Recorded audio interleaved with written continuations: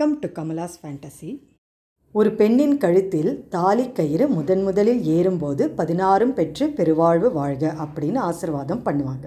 அப்பேற்பட்ட புனிதமான உன்னதமான அந்த தாலி கயிறு சரியான நேரத்தில் எந்த கிழமையில் எந்த நாளில் எந்த நேரத்தில் எந்த திதியில் பெண்கள் அணிய வேண்டும் என்றும் இவ்வாறு திருமாங்கல்ய கயிறு அணிவதால் ஏற்படும் நன்மைகள் பலன்கள் ஆகியவை அனைத்தும் இதில் இந்த வீடியோவில் தெள்ள தெளிவாக சொல்லப்பட்டிருக்குங்க.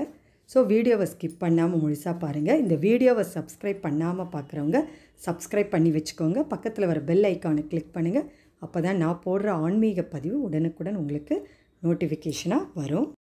திருமாங்கல்ய கயிறு ஒரு ஆண்மகன் முதன் முதலில் ஒரு பெண்ணுக்கு அணிவிக்கும் போது சாஸ்திர சம்பிரதாயங்கள் நல்ல நேரம்லாம் பார்த்து தான் அணிவிக்கிறாங்க.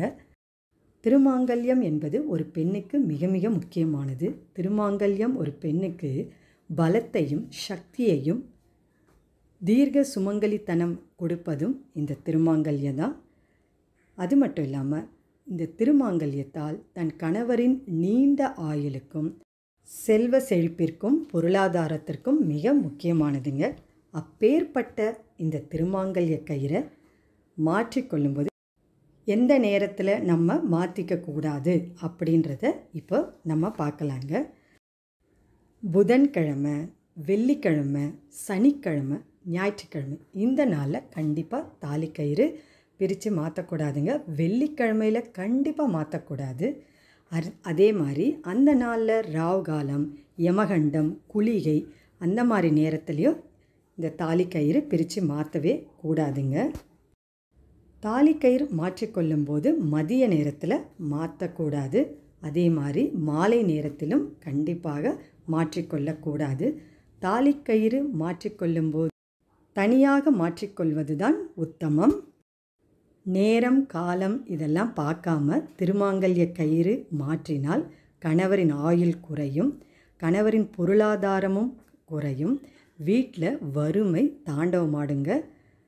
லக்ஷ்மி கடாட்சம் வீட்டில் இருக்காது. சரி இப்போது திருமாங்கல்ய கயிறு எந்த நாளில் எந்த திதியில் மாற்றிக்கலாம் அப்படின்றத இப்போ நம்ம பார்க்கலாங்க. கிழமைன்னு பார்த்திங்கன்னா திங்கட்கிழமை செவ்வாய்க்கிழமை வியாழக்கிழமை இந்த மூணு நாளில் நீங்கள் மாற்றிக்கலாங்க திதின்னு பார்த்தீங்கன்னா வளர்ப்பிறை தசமி. இந்த வளர்ப்பிறை தசமி ரொம்ப அருமையான நாள். இந்த நாளில் தாலிக்கயிறை பிரித்து மாற்றிக்கலாங்க வளர்ப்பிறை தசமியை நீங்கள் விட்டுட்டிங்கன்னா வளர்ப்பிறை பஞ்சமி. இந்த திதிலையும் நீங்கள் மாற்றிக்கலாங்க சரி எந்த நேரத்தில் தாலி கயிறு பிரித்து மாற்றணும் அப்படின்றத இப்போ நம்ம பார்க்கலாம்.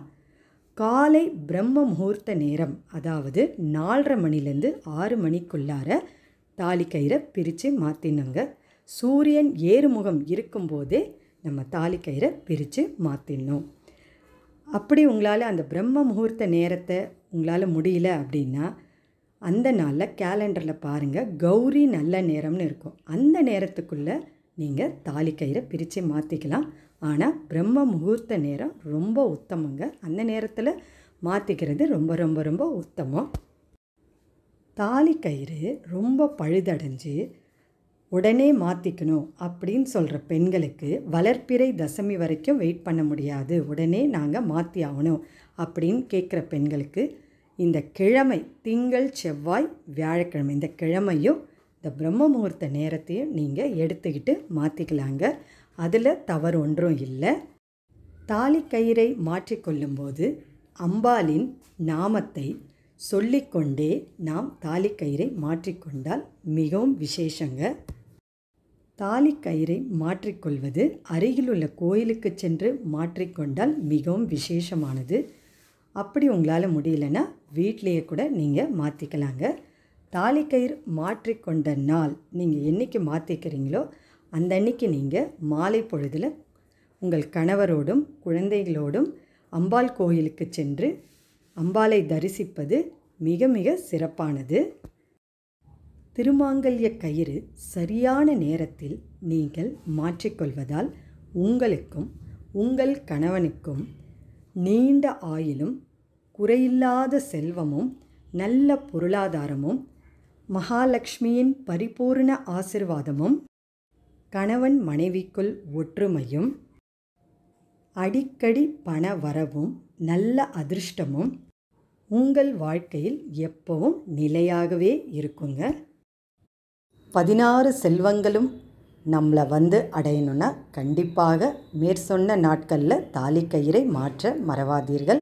இந்த பதிவில் உங்களுக்கு ஏதாவது சந்தேகங்கள் இருந்தால் கமெண்ட் பாக்ஸில் கேளுங்க. கண்டிப்பாக நான் பதில் தரேன். இந்த பதிவு உங்களுக்கு ரொம்பவே பிடிச்சிருந்தால் லைக் பண்ணுங்கள் உங்கள் உற்றார் உறவினருக்கும் ஷேர் பண்ணிவிடுங்க. அடுத்த ஒரு நல்ல ஆன்மீக பதிவோடு உங்களை சந்திக்க வரேன்.